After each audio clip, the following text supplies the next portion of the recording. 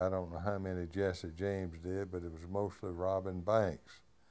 Uh, John Dillinger had a low pro number of people he killed, but this man probably killed 25 or 30 people. Retired Bibb County Sheriff Ray Wilkes is talking about this man, serial killer Paul John Knowles.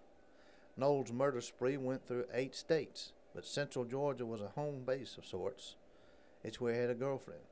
Eventually went to court, and where he killed over and over. He killed with no remorse, with no feelings, and and people who he had no.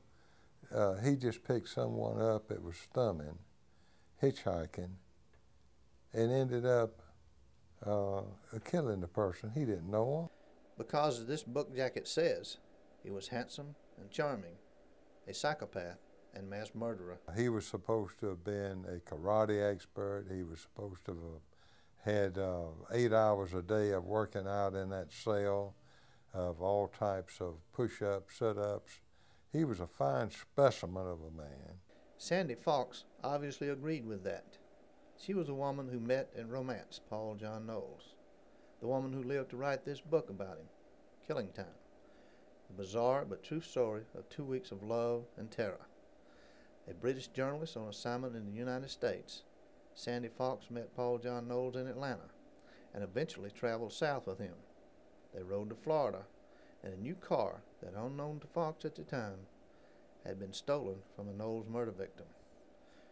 Knowles said he wanted her to write his story, but he didn't tell her he was a killer.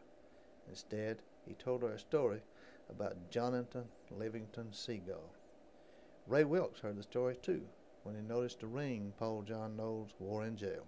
Basically, the story was it was a seagull who defied all other knowns and all other traditions and broke away from the flock of other seagulls and rose to a height that was above and above all the others. You could say that about Knowles.